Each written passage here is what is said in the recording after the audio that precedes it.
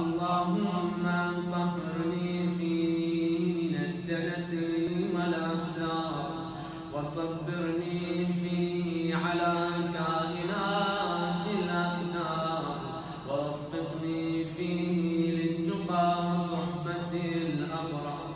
بعونك يا قرة عين المساوكين